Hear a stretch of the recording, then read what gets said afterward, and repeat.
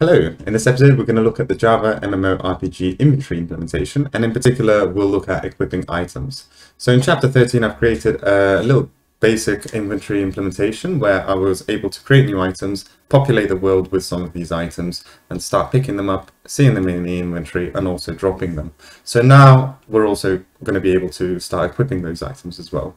So I've uh, basically modified the server code which uh, is available on GitHub so the link will be in the description and I've added support for these equipping items. So the changes were quite large so it's like 50 60 files of changes um, and that was also because I was extending some of the item capabilities um, and creating the, the slots behind them. Uh, so I'm not going to go in, uh, in, detail about each and every file that I've created, but sort of from a high level, uh, what are the purpose of this um, structure design, you know, system design, um, and why I've uh, chosen some of the things that I did. Uh, so I'll also go through them a little bit in detail in this video as well. And um, yeah, obviously like other people can design this a little bit differently. So it really depends on your requirements of your game server.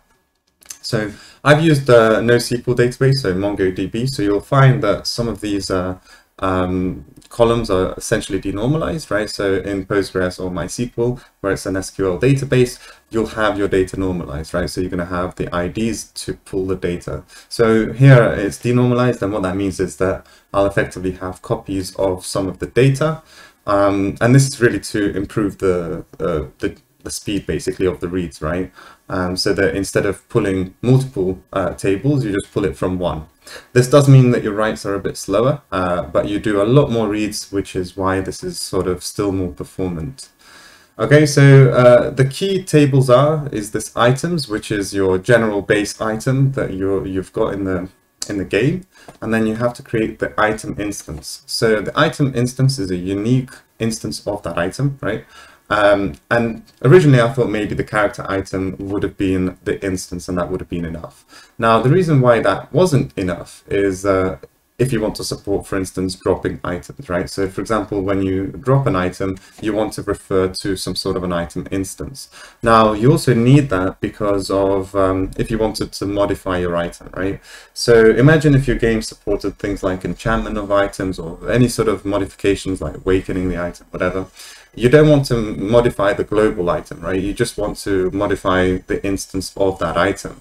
So effectively you pick up an item, it's a base item, there's no modifications to it, then, you know, you through some crafting or whatever, you can modify some of the, those properties. Uh, they belong to the character item, which is effectively a unique instance there. But then if you decided to drop that item, so again, if you needed to support that functionality, you, you need to sort of re remove this character item, like the character name would be null here, and still refer to the item instance, and you'll have yourself a dropped item um, parameter, right? So that's kind of uh, the justification for the item instance, which is shared across multiple states.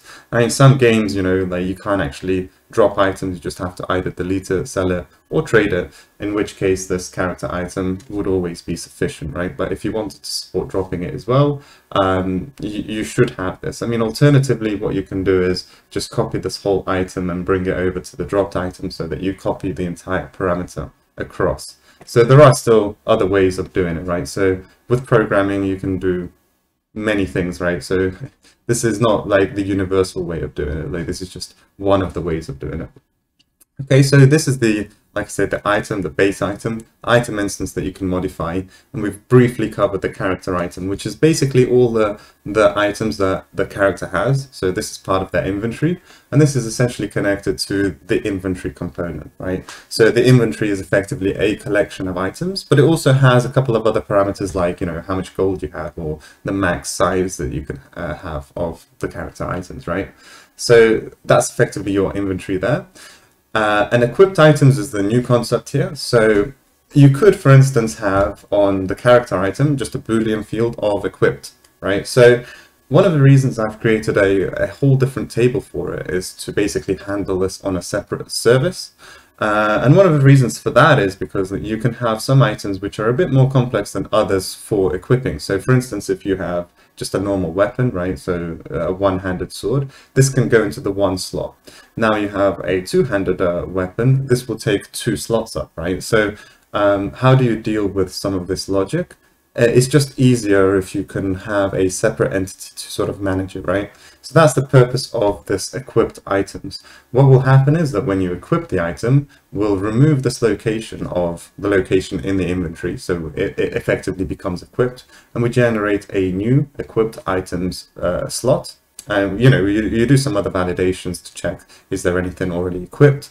Uh, so you, you can pull that data. If it is, you can re remove the entry of those and create the new one. Um, and that's kind of it. Now, bear in mind these guys over here, so weapon, shield, helm, chest, etc. These are not actually tables, right? This is a representation of how can we evaluate what are the item categories or item types uh, using Java, and they stem out of the category from items, and likewise for the slots, right? So I'm going to show you in Java what they look like. Perhaps before I go into the Java code, I'll give you a demonstration of using this over API. So in this episode, we're looking at uh, the Java implementation, and then the next one, I'm going to start integrating this with Unreal Engine, and I'll actually start being able to equip those items. So just for context, you know, if I show you what these uh, slots look like. So if this is my inventory, uh, right, so you've got uh, all of these slots, right? So you have a helm slot, you have a chest slot, you have a belt slot, then there's your weapon slot, your shield slot, etc. Uh, so all of these guys are your slots, and we'll have items here that we'll be able to equip and place them onto those slots. So that's what we'll cover in the next episode. And right now, I'm going to show you uh, what it will look like from Postman uh, over API essentially. And um, yeah, let's get started. So what I've done is I've ran the tests which cleared all the data. So I've started my server up and um, to begin with, I'll start creating some items. So uh, I've, I've created a little script, if you will, uh, to basically create an item of each category. So for example, we've got a weapon here, uh, we've got a shield here, uh, a belt, you know, a cape, etc. So I'm going to create these items. These are base items that now exist in the database. Uh, so th those are created. And what I'm going to do, I'm going to start spawning some of these items in the map, right? So conceptually speaking, right? So I'm going to say uh, drop this uh, item on map one at this location. So I'm going to drop uh, an item for the weapon and a shield. So if I click get nearby items, uh, so again, uh, the threshold there is 1000, I should be able to see those two items. And again, you know, if I change this to uh, a different place, so if my character moved, I no longer see those items, right? So if I put this at 2000, I should see this item again. Okay, so there's two items that are dropped, the weapon and the shield. So I go ahead and I pick those up.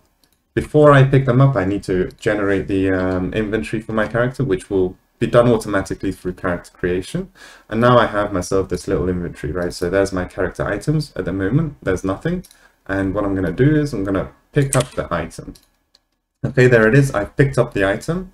And uh, this item will now be gone. So the small axe will be gone. And uh, now there's just a, a wooden buckler. Okay, so I'm going to pick up this item as well. So now I have two items in my inventory, right? So there's the first one and there's the, the second one, the wooden buckler, right? So if I minimize this, there's the two items that I've just picked up. Okay, you can also see this in your inventory, right? So the small axe. And now the new addition is that we can take this item instance ID from my inventory and we can start equipping that item. So here, uh, all we need to provide for equipping the item is the instance ID of that item, which is the unique um, index. And uh, there we go. So we get a response to say, okay, now you've equipped this item. Okay. So if you say get equipped items, you have just one equipped item, which is the small axe. And it basically tells you that it's uh, going into the weapon slot. Okay. Uh, what we'll do is we'll also equip the buckler. So if you get yourself the inventory, the item still exists in your inventory, it's just not part of your normal slot. So the location is not uh, specified, which means that it doesn't take up one of your inventory slots because it goes into your um, equipped item slot instead. Okay. Um, we could do this differently, like I said, like there's many ways of achieving the same thing. Uh, now what we'll do is we'll equip the second item, which is the wooden buckler. So provide the item instance ID here. And there we go. So now we've equipped the wooden buckler as well. So if we say get equipped items, we should see two items. uh, the buckler, and the uh, the axe. So uh, the other thing is that we can also unequip these items as well. Okay, so again, just need to provide the item instance ID. Try to keep this relatively simple for the APIs. And when you unequip the item, I actually return the inventory. Perhaps I'll do the same for the equip item. So maybe when I'm uh, integrating this with Unreal Engine, if it makes sense, I'll probably uh, just return the inventory instead. Okay, so now if I get equipped items, there should just be the one item. And you can see I'm only equipping the shield here. So uh, I can do the same just to follow it through. So if I just change the ID here, and now I'm essentially not equipping any items. And if I get myself uh, the inventory, uh, the location should be populated again. So let's see, uh, there, there it is. So this is the location of the item in your inventory, right? So it just says put it into the top left slot, okay? Because that, that, that was free. Okay, good. So this is uh, the mini demo of uh, basically the inventory system so far, where now, you know, we can pick up the items, uh, we can drop the items, and we can now start equipping and unequipping the items as well.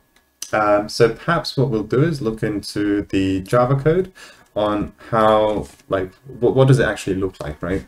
Uh, oh yeah, and bear in mind that uh, these um, API calls that I've created here, so for example, for creating items, etc., I've also added them into the resource folder here. So uh, there's, for example, the item script uh, the this is the um, the body for the request. And I've also exported the postman uh, request. So if you want to try this locally, you know, just feel free to integrate these guys. Okay, so what we have here is the item class. So this refers to this table over here, right? It has item ID, item name, etc., category. Uh, I want to focus a little bit on the category here. Uh, so what we have is that this is just an abstract class, right? So item is an abstract class. Item on its own is not very useful for you. You need to know what kind of item is it. Is it a weapon? Is it a consumable, like a potion? Is it armor, like a chest piece, a helm slot, etc.? And you evaluate it using the category field, right? So we've introduced this uh, JSON property. Uh, it's stored in uh, MongoDB, so it's stored uh, as this JSON BSON thing. Uh, so it's a category field. And uh, we can basically specify this thing JSON type info. We say that it's an existing property and the property is called category. So it's uh, over here. And then you can specify the subtypes. So what this means is that if that category field is equal to this name, then serialize it into this class. That's what it means, right? So if the category is equal to consumable, then that means it's a consumable type. If it's a weapon, it's a weapon class. So at the moment, I haven't really put anything uh, specific in here, uh, but this is pretty powerful technique because what we can start doing is um, you know, basically putting custom logic into consuming the data differently.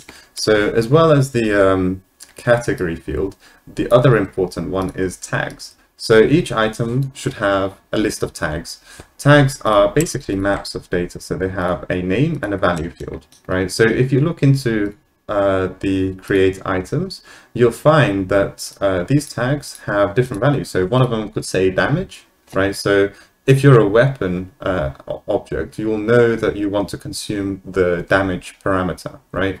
And then if you're a shield, for instance, you want to consume the armor parameter. If you're a consumable item like a potion, then you're looking for like health or mana, whatever.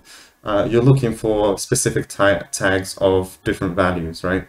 So that way we can sort of keep the system scalable and instead of sort of creating a different column for each one of your properties, you can have this generic one that is extensible and expandable, right? So this makes the system quite scalable in the future.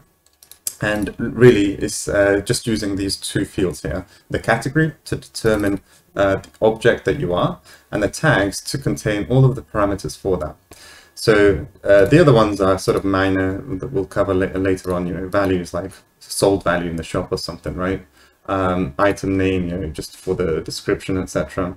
Config is not currently in use, uh, so potentially I'll uh, get rid of it. But if we need extra information for Unreal Engine to process this data, perhaps I'll add it to the item config. Um, because the tags, I wanted to keep them specifically for game logic. But if we needed something specifically to, you know, like uh, decide which uh, mesh to use, right? Like I'll probably put them into the item config. And that's what I did here, right? Like for example, the icon to use in the inventory or the mesh to use.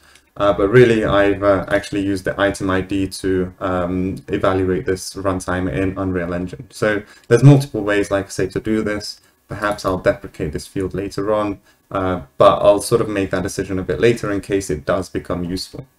So that's essentially the item and uh, the item types uh, that we extend from it. So that really refers to uh, the items and uh, these categories over here.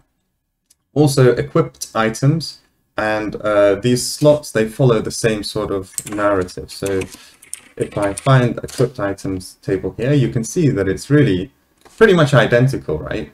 Uh, the main difference is that some of these items will not be uh, equipped, right? Maybe like, for instance, uh, arrows or something, right? If you have a bow, uh, you've got a consumable like potion, you, you don't really need a equip slot for it. So they are following sort of almost, they're essentially almost mirrored, right? But there are some differences and um, that's kind of what we've got right now, right? So um, the equipped items just have the character name, so who are who, who these items belong to, right? The, the character, the item instance uh, to refer to the actual item, and the category of that item. Is it like a, a weapon slot? Is it a shield slot, belt slot, etc. There is uh, one part which uh, I haven't yet decided on how to expand, but like the ring ring slot, so you can have two slots of the same type. So I'll um, basically deal with that probably in the next episode, I'll have a think of what's the best way of dealing with duplicates. And also, I don't currently support, for instance, the two-handed weapons, right? So that's something else that's uh, to do. But basically, this uh, method will support it, which, you know, is the purpose of uh, this extensible system. So perhaps the last thing that I'll show you is uh, the demo of what we had previously and the intention of the next video as well. So we had this inventory system so we can populate the items. I've also just made them a little bit larger so we can see the icons a little bit better. I think the, there'll need to be a bit more improvements.